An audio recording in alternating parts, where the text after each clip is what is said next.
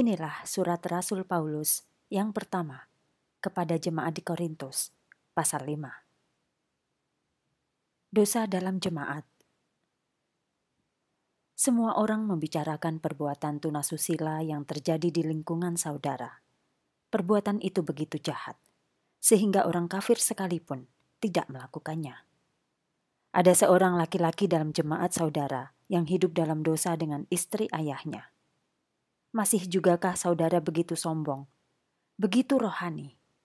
Mengapa saudara tidak berduka cita karena sedih dan malu, dan menyingkirkan orang itu dari persekutuan saudara? Walaupun saya tidak berada di antara saudara, saya telah banyak memikirkan persoalan ini. Dan dalam nama Tuhan Yesus Kristus, saya sudah memutuskan apa yang harus dilakukan. Seolah-olah saya ada di situ adakanlah rapat jemaat. Kuasa Tuhan Yesus akan menyertai saudara dalam pertemuan itu, dan saya juga akan hadir di situ dalam roh.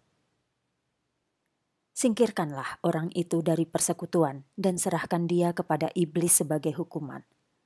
Semoga dengan demikian rohnya akan diselamatkan pada waktu Tuhan Yesus Kristus datang lagi.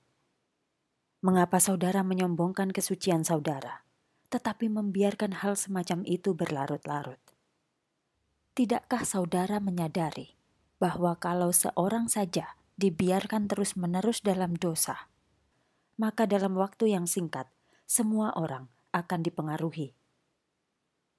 Singkirkan kanker yang jahat itu, yaitu orang yang jahat itu, dari tengah-tengah saudara, supaya saudara tetap murni.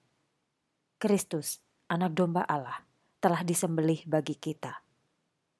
Karena itu, marilah kita berpesta dan menjadi kuat dalam hidup kekristenan kita. Kita tinggalkan jauh-jauh hidup lama yang penuh dengan kanker kebencian dan kejahatan. Marilah kita berpesta dengan roti murni, yaitu kehormatan, ketulusan hati, dan kebenaran. Dalam surat saya yang lalu, saya minta supaya saudara jangan bergaul dengan orang jahat yang saya maksudkan bukanlah orang tidak percaya yang hidup dalam percabulan, penipu yang tamak, pencuri, atau penyembah berhala.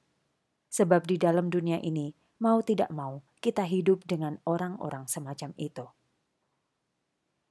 Tetapi yang saya maksudkan ialah supaya saudara jangan bergaul dengan orang yang menamakan dirinya saudara dalam Kristus. Padahal ia berlazat-lazat dalam percabulan atau tamak atau penipu atau penyembah berhala, atau pemabuk, atau seorang yang bermulut kotor. Dengan orang semacam itu, makan bersama pun jangan.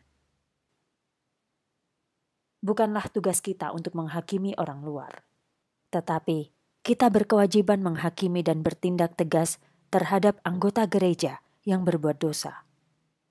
Allah sendiri yang menjadi hakim bagi orang luar, tetapi saudaralah yang harus mengambil tindakan terhadap orang berdosa itu dan menyingkirkannya dari gereja.